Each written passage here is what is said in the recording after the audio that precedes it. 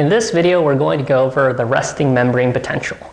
The resting membrane potential is the membrane potential of a neuron at rest. So when the neuron is not firing any action potentials, and also when it's not receiving any kind of inputs from presynaptic neurons.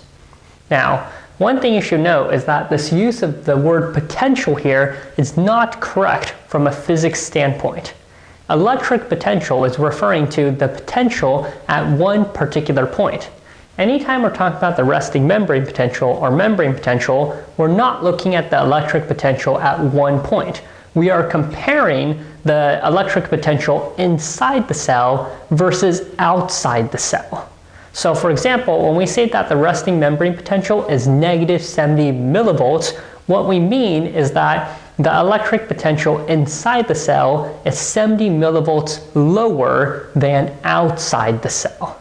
And since we're comparing the electric potential at two different points, the correct physics term here to use is voltage, not electric potential. So this should technically be called resting membrane voltage. However, you're going to find that the majority of biology textbooks out there use resting membrane potential. So that's what we'll go with. But you should know from a physics standpoint that it should really be voltage. Okay, so now to discuss how we get the resting membrane potential, let's talk about the sodium potassium pump, or the Na plus K plus ATPase. As you can see from this diagram, the sodium potassium pump is a protein that uses ATP to pump three sodium cations out of the cell and two potassium cations into the cell as a form of active transport. The result of the activity of the sodium potassium pump is that it creates an electrochemical gradient. This means that there is both an electrical gradient and a chemical gradient. The electrical gradient is the result of the fact that three cations are pumped out of the cell and two cations are pumped into the cell. This results in the net loss of positive charge from inside the cell. And often, people use this to explain why the resting membrane potential is negative. But as we're going to see in this video, that's not the case. And hopefully by the time you're finished with this video, you'll understand why the resting membrane potential is really negative. The second is the chemical gradient. So chemical gradients is essentially looking at concentration gradients. So the result of the activity of the sodium potassium pump is that sodium has a high concentration outside the cell and a low concentration inside the cell. For potassium, it's the opposite. It has a high concentration inside the cell and a low concentration outside the cell. Okay, so next, let's look at the result of this on the intracellular and extracellular ion concentrations. We have ion I for intracellular ion concentration, and ion O for the outside or extracellular ion concentration. For sodium and potassium pump, this is fairly straightforward because we know what the gradients are going to be based on the sodium potassium pump. So sodium is high outside the cell and low inside the cell. Potassium is the opposite. Potassium has a high concentration inside the cell and a low concentration outside the cell.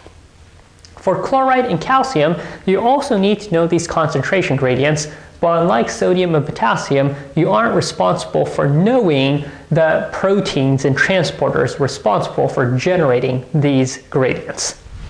So for chloride, it has a low concentration inside the cell and a high concentration outside the cell.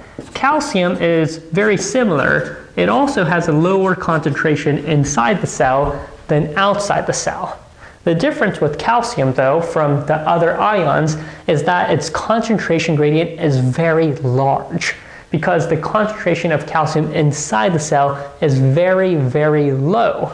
So this leads to a very large chemical gradient for calcium across the cell. Okay, so what are these concentrations helpful for? Well, if we know the ion concentrations inside the cell and outside the cell, we're able to calculate what is called the equilibrium potential using the Nernst equation. So here we have the Nernst equation, which is E ion is equal to RT over ZF times the natural log of the extracellular ion concentration divided by the intracellular ion concentration. E ion is the equilibrium potential for an ion, and it's defined as the membrane potential at which there is no net movement of that ion. This takes into account both the electrical gradient and chemical gradient of that particular ion. R and F, these are constants you'll recall from general chemistry. So R is the gas constant, F is Faraday's constant. Z is the ion valence. This is the charge of the ion of interest. So for sodium, it's plus one. For chloride, it's minus one. For calcium, it's plus two. T is the temperature. So what do we get from these calculations? Well, again, we're going to get the equilibrium potential. So what is so important about the equilibrium potential? Well, again, it's going to be helpful for determining what the potential of a cell is going to be at any point. And for the MCAT, you generally will not be asked to do calculations with natural log because you don't have a calculator. So don't worry too much about having to do calculations with this equation, but you should be able to understand in general how this equation works. And we can take a look with these ions right here. So if we start with sodium, we know that sodium has a high concentration outside the cell and a low concentration inside the cell. This means that based on its chemical gradient, the sodium cation wants to move into the cell, right? That's based on the chemical gradient. The equilibrium potential is the potential at which there is no net movement of that ion. So we have to think about what do we need the potential of the cell to be to essentially cancel out this movement from the chemical gradient. And again, based off the chemical gradient, sodium wants to move into the cell. So you have to ask yourself, if I want to prevent sodium from entering the cell, do I want the cell to be positive or do I want the cell to be negative? And of course, if the cell is negative, then that will want to pull sodium cations into the cell because sodium is positive. So that's not what we want. However, if the cell is positive, then that will repel sodium cations because sodium as a cation doesn't want to move towards a positive. So in this case, sodium has an equilibrium potential that is a positive value. And when you plug in the numbers and do the calculation, you'll find that the equilibrium potential of sodium is approximately positive 60 millivolts. And again, this makes sense based on the concentration gradient for sodium. Let's now consider potassium. Potassium has a high concentration inside the cell and a low concentration outside the cell. This means that naturally, potassium wants to leave the cell. So if we want to find the equilibrium potential, we have to think at what potential of the cell will there be no net movement of potassium? So since potassium wants to leave the cell based on its concentration gradient, we have to think about what potential the cell needs to be to prevent potassium from leaving the cell. And if you think about it, if the cell is negative, that would mean potassium cations being positive would be leaving a negative, which they don't want to do. So if you have a negative potential, you can prevent potassium from leaving the cell. So the equilibrium potential of potassium, when you plug in the different values, is actually about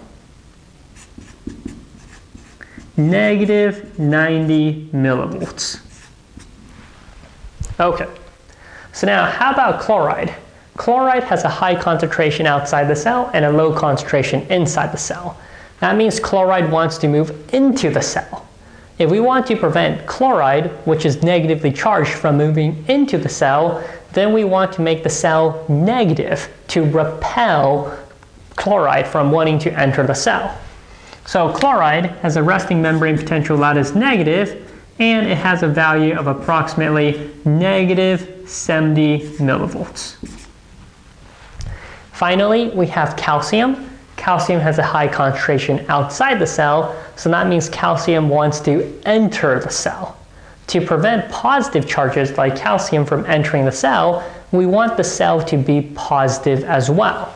So calcium also has a positive equilibrium potential. And since the concentration gradient is particularly large, it's actually a very large positive potential for calcium.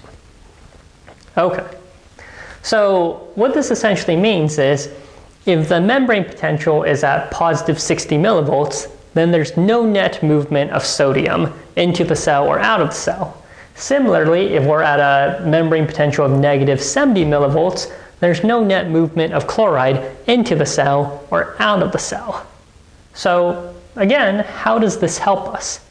Well, if the membrane potential is not at the equilibrium potential for that ion, then the ion will be moving in such a direction as to pull the potential towards its equilibrium potential, right? If the membrane potential is zero millivolts, then sodium is going to want to move into the cell to make the cell positive until the potential is positive 60 millivolts. So what you want to understand here then is the membrane potential gets pulled to the equilibrium potentials of the ions. But since all these ions have different equilibrium potentials, how does it work? Well, as it turns out, at any point in time, the different ions will have different permeabilities. And the ion that is the most permeable is going to best be able to pull the, the membrane potential to its equilibrium potential. So that means the membrane potential is closest to the equilibrium potential of the most permeable ion. So if we want to figure out what the resting membrane potential is, we need to know at rest which ion is the most permeable. And at rest, that is potassium. And that's because in cells, there is what is called leaky potassium channels. So these leaky potassium channels are called leaky because they're essentially always slightly open. So potassium is just leaking out of the cell. And since potassium is the most permeable ion at rest, that means the cell is going to try to pull its potential towards the equilibrium potential of potassium. So we end up with a value that is close to the equilibrium potential of potassium of negative 70 millivolts. It's not exactly the equilibrium potential of potassium, and that's because the ions have some permeability as well, but it's close to potassium because potassium is the most permeable ion. So what happens, for instance, during an action potential?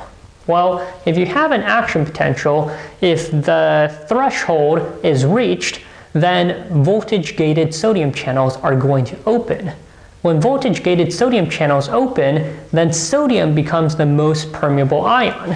And that's going to pull the membrane potential towards the equilibrium potential of sodium. So that's why we can see during depolarization, the membrane potential goes towards the equilibrium potential of sodium. So as a summary, what you can understand is that the membrane potential of a cell is determined by the equilibrium potential of the most permeable ion, and at rest, that is potassium from the leaky potassium channels.